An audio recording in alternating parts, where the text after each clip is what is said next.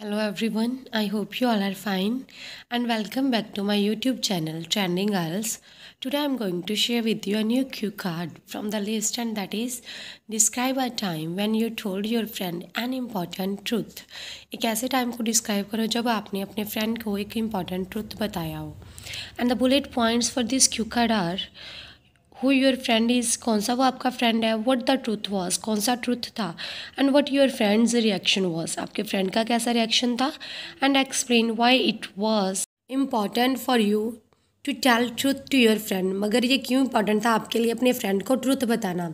So the sample answer is I usually speak truth and try to word lie मैं हमेशा ज़्यादातर कोशिश करता हूँ सच बोलने की और झूठ को अवॉइड करने की। But sometimes we have to hide truth मगर कभी कभार हमको हाइड करना पड़ता है ट्रूथ को from closest ones so that we can save our relations अपने क्लोजेस्ट वंस से भी सो so दैट हम अपने रिलेशनशिप को सेव कर सकें। One such thing happen to me when I didn't tell the truth to my best friend Ankita ऐसा ही एक बार मेरे साथ भी हुआ, जब मैंने अपनी बेस्ट फ्रेंड अंकिता को सच नहीं बताया। She is my childhood friend and always stands with me through thick and thin. Through thick and thin is an idiom which means under all circumstances, no matter how difficult. वो मेरी childhood friend है और मेरे साथ हमेशा करती है through thick and thin means difficult situations के ड्यूरिंग भी so the answer of the first bullet point is covered now who your friend is कौन सी आपकी फ्रेंड है अंकिता है मेरी चाइल्डहुड फ्रेंड है मेरे साथ प्रॉब्लम्स वाली सिचुएशन में भी मेरा साथ देती है And the second bullet point is what the truth was. Such kaun tha? She used to get the first position in the class. वो ज़्यादातर फ़र्स्ट पोजिशन ही लेती थी क्लास में।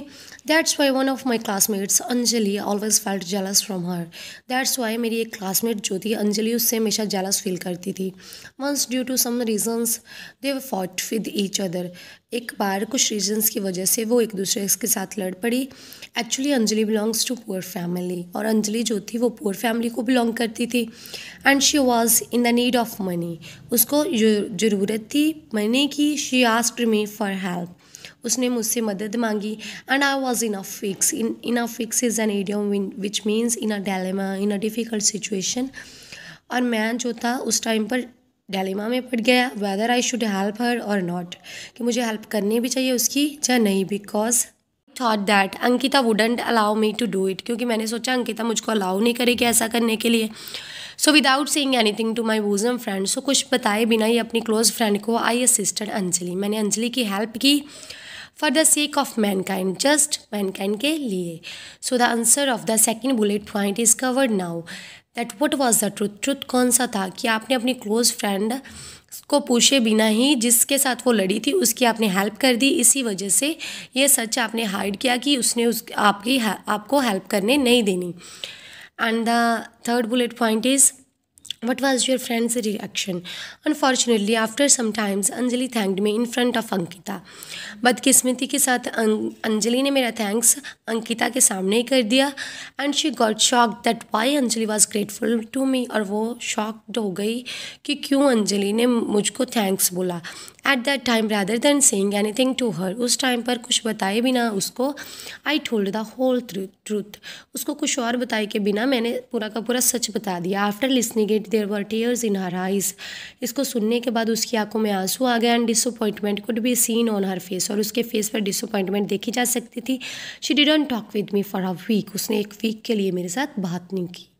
And the last bullet point is why it was important for you to tell the truth to your friend telling the truth to Ankita was necessary for me मेरे लिए important था as if she got to know about it from anyone else क्योंकि अगर उसको किसी और से पता चलता she would be more angry and might not talk with me हो सकता था कि ज़्यादा गुस्से हो जाती और मेरे साथ बात भी ना करती apart from it this thing could ruin our relationship ये बात हमारे रिलेशनशिप को ख़राब कर सकती थी whereas not saying anything to her was up my was my big mistake इसके अलावा उसको कुछ ना बताना मेरी एक बड़ी मिस्टेक थी for for means here is because because after some time when we started talking with each other क्योंकि कुछ टाइम के बाद जब हमने बातें करनी स्टार्ट कर दी everything was ऑल राइट जब सब कुछ सही था She told me that how I could judge her uh, that she wouldn't allow me to stand for others. तो उसने कहा कि कैसे मैं उसको जज कर सकती हूँ कि वो मुझको अलाउ नहीं करेगी दूसरों की हेल्प करने के लिए। Then I promised her that from the next time I will not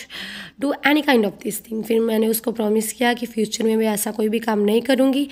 All in all it was a time one I told an important to my friend last में मैं यही बताना चाहती हूँ कि यही एक टाइम था जब मैंने अपनी फ्रेंड को एक इंपॉर्टेंट ट्रूथ बताया The sample answer of this cue card is covered now. Now I am going to share with you the follow-up questions and the first one is do you think we should tell truth at all times क्या आपको लगता है कि हमको पूरा time truth ही बोलना चाहिए?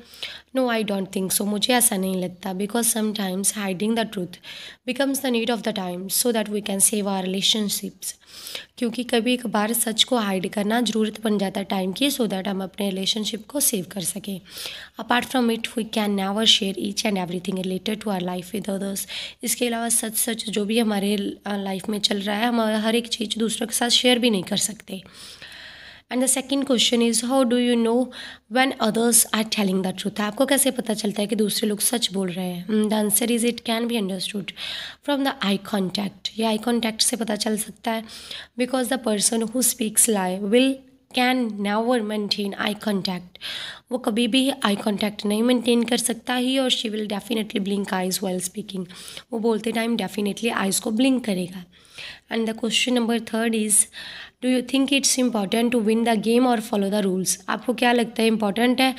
जीतना और रूल्स को फॉलो करना. And the answer is following the rules is more important than anything else rules को फॉलो करना ज़्यादा इंपॉर्टेंट है। If the person wins by spoiling the rules then he or she will not enjoy the pleasure of feeling अगर person spoil करके rules को जीत रहा है तो वो कभी भी इंजॉय नहीं कर पाएगा pleasure of feeling so all the same follow up question are also complete now i hope you like my video, and if you like my video, then please like, share, and subscribe my channel. Thank you.